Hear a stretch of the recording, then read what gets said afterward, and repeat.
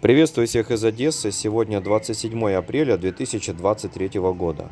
В Одессе начали расклеивать листовки с призывом голосовать против переименования Суворовского района в Пересыпский, а Малиновского в Хаджибейский. Напомню, что официальное голосование длится до 10.00 29 апреля.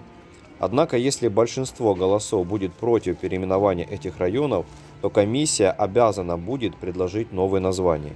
По состоянию на вчерашний день за переименование Малиновского района в Хаджибейский 2359 голосов, это 59% от общего количества голосов, а за переименование Суворовского в Пересыпский 2440 голосов, это 56% от общего количества голосов. Такая, друзья, информация.